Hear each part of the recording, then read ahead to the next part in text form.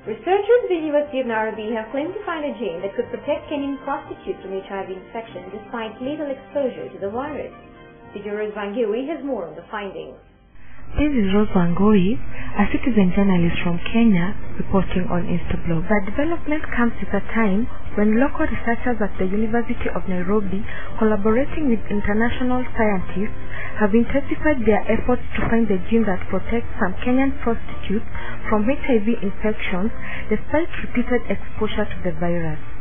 The government is also considering withdrawing several brands of antiretroviral medicine that have been found to have severe side effects, especially on women. However, scientists say the procedure used on the man is difficult to repeat on other patients. They have since modified the delivery method through a relatively new technology called gene therapy used to correct defective genes responsible for the disease.